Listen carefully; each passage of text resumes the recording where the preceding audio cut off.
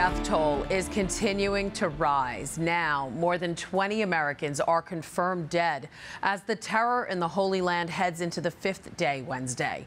Catholic authorities are pleading for peace in a place that connects Jews, Muslims, and Catholics to their roots of faith. But as Currents News' Jessica Easthope reports, the concern over civilian lives is growing. Almost all of Gaza in total darkness. Overnight, officials announcing the area's only power plant is out of fuel to provide electricity as civilians cope with dwindling supplies of food and water and no internet access.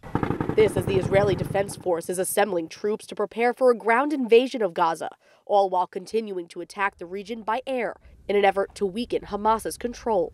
In a rare government move, Israel has formed an emergency war cabinet. We've never seen such savagery in the history of the state. Prime Minister Benjamin Netanyahu will lead the group made up of some opposition leaders. It was created to make swift and effective security and defense decisions.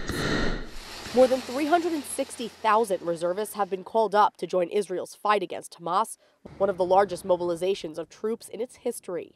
Hamas is still claiming to hold more than 150 hostages following Saturday's surprise attack along the Gaza border, prompting Pope Francis to make an urgent appeal for peace. Prego per quelle famiglie che hanno visto trasformare un giorno di festa in un giorno di lutto e chiedo che gli ostaggi vengano subito rilasciati. Vatican Secretary of State Cardinal Pietro Parolin condemned Hamas's terroristic tactics, saying it only hurts the Free Palestine cause.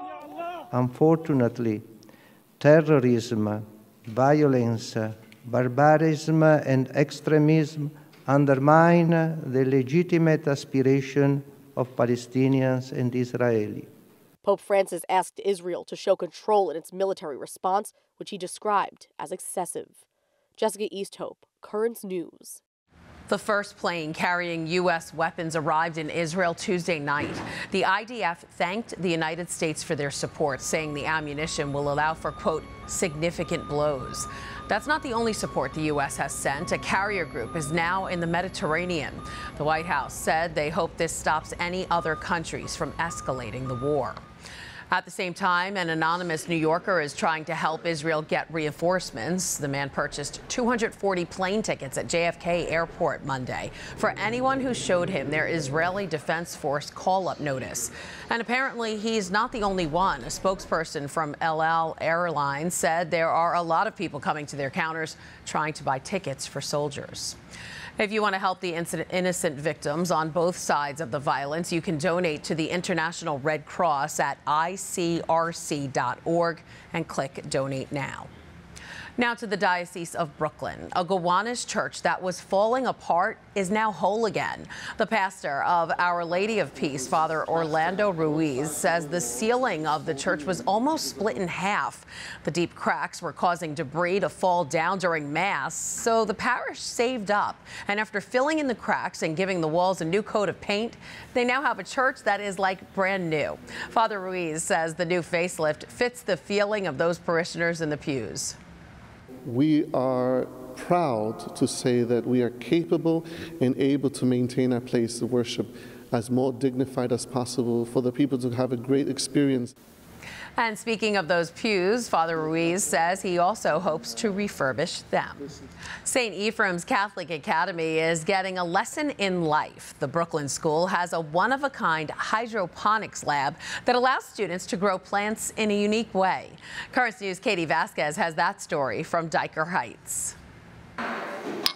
Students seeing science in action three drops of uh, that so in there. see there? It's red.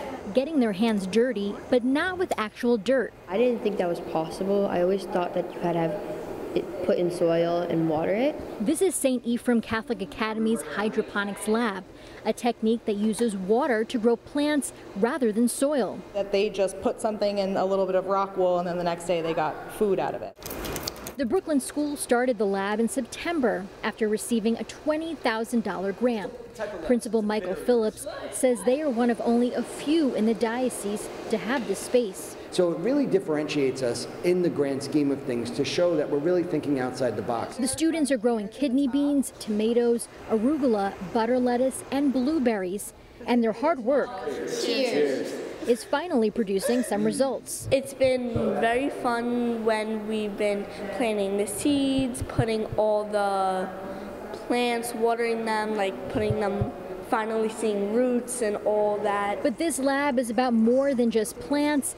It's learning about God's most precious gift, life. I want to provide them the opportunity to not only learn science, but learn it in a hands-on approach, but also with real-life experiences. If their crop yields a hearty harvest, the school hopes to donate the food to the community or offer a farmer's market for parents. In Dyker Heights, Katie Vasquez, Currents News. That is so cool. And finally tonight, a young Catholic in North Carolina has started his own business making a unique type of rosary beads. 15-year-old Will Henry is the founder of Rings of the Lord, a company that specializes in Irish penal rosaries. The small beads were created during a time in Irish history when Catholicism was not allowed and were meant to hide in a person's hand. But now the teen, along with his brother, have been hand making and shipping the special rosaries across the U.S. for almost three years. Will says the best part of his job is seeing how his work is helping to spread the faith. A lot of the part that kind of makes fills me with joy is seeing that the rosary is doing what it's supposed to be doing. The better um, rosaries we have in the world, and the more Mary can affect people through the rosary, like the actual rosary, um, it can produce much more good um, and benefits than almost any other, not any other devotion, I would say, but a lot of devotions. Rings of the Lord has now expanded their shipping to Canada and Europe, and Will plans to continue growing his business. So if you want your own set of rosaries, just go to ringsoftheLord.com. Will says they are out of stock right now, but they are still accepting orders since new materials for the rosaries will be coming soon. Do you know someone with an amazing story like Will's? Email it to us at newstips at desalesmedia.org. You can also call our 24 hour number, that's 718 517 3122. And that is this Currents News Update. I'm Christine Persichetti. Thank you for joining us because we are putting your faith in the news. Hope to see you again next time.